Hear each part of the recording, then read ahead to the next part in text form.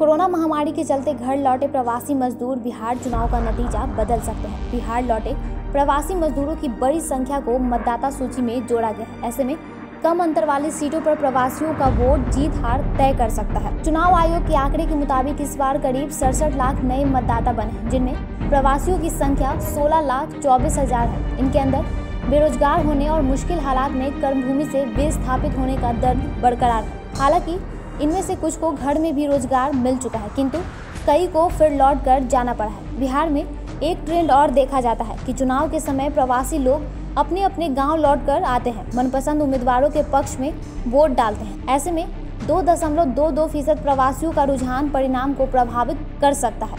मार्च से जून तक के महीने में मजदूरों को पलायन का सामना करना पड़ा। प्रवासी मजदूरों के लिए न तो तभी सरकार मदद में उतरी और न ही विपक्ष। इसके बाद जब मौजूदा केंद्र सरकार से जब प्रवासी मजदूरों के मरने वालों की संख्या जब मांगी गई तो सरकार ने अपने हाथ खड़े कर लिए। ऐसे में बिहार एनडीए पर कितना भरोसा करती है, यह देखना दिलचस्प होगा। प्रवासी मजदूरों पर लगातार विपक्ष भी निशाना साधते दिखे। पलायन का हवाला देते हुए विपक्ष ने कहा, न तो पलायन रोक पाए, न ही बढ़ती महामारी। बिहार को बर्बाद करके छोड़ दिया है नीतीश कुमार ने। चुनाव आयोग के मुताबिक 25 सितंबर तक मतदाता सूची में सात करोड़ उनतीस लाख पचहत्तर हज़ार पाँच सौ पैंसठ मतदाता है। इनमें प्रवासियों की संख्या सोलह लाख चौबीस हज़ार है। सबसे अधिक एक लाख नौ हज़ार एक सौ आठ प्रवासी मतदाता पश्चिम चंपारण में जबकि सबसे कम दस हज़ार पाँच सौ संतावन प्रवासी मतदाता लखीसराय के हैं। जहानाबाद, अरवल, भागलपुर, मधुबनी, पूर्वी चंपारण समस्तीपुर और सारण में लौटे सभी प्रवासी मतदाता सूची में शामिल कर लिए गए अपर मुख्य निर्वाचन पदाधिकारी संजय कुमार सिंह ने बताया कि